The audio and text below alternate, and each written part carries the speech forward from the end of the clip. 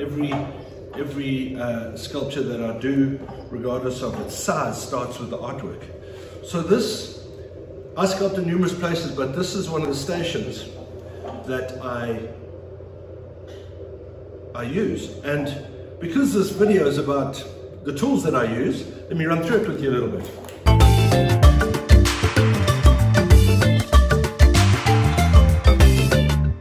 Okay, so once again, a little bit of a, a Heath Robinson tool, but this is a sculpture table that enables me to um, sculpt at pretty much whatever level I am comfortable at. There's nothing worse, I'm tall and a terrible posture at the best of times. So what I need to do is, is that ideally I want to be comfortable, you know, for there are times that we sculpt for hours and hours and hours on end. So I've got to be at a height that's really, really comfortable.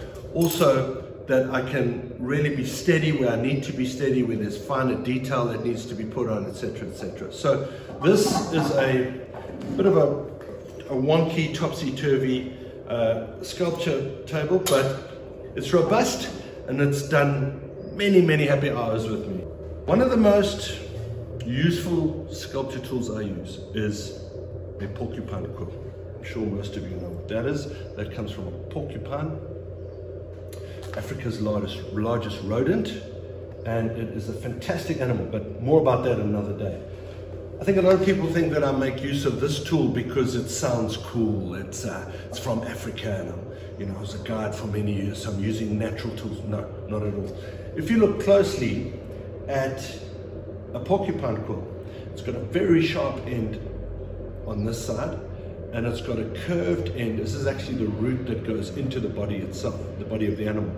And it's got sort of a, a, a a shape on, it's got a sharpish edge, but it's got a round, blunt edge to it too. So when I'm wanting to just flatten an area, I can use that. If I'm wanting to even cut or I'm wanting to do some very fine detail, we've got that. Or I use the side of it to fill in some gaps.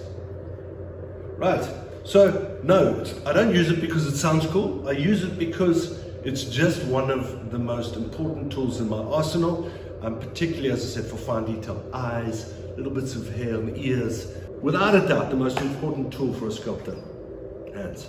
I use my hands for literally the vast majority of my sculpture. So if I'm wanting to put a rib on this animal, for instance, um, then I do that.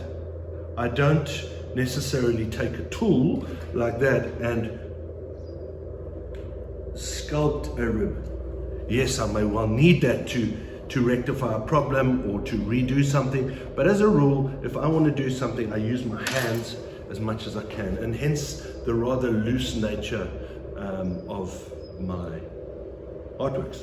Once again, organization is good. The worst thing you want to do is actually really battle when you try to find a tool. So I made a rather hastily put together contraption, and that is welded out of aluminium um, and I can take it on and off. I can put it on my Land Rover if I'm sculpting in the bush.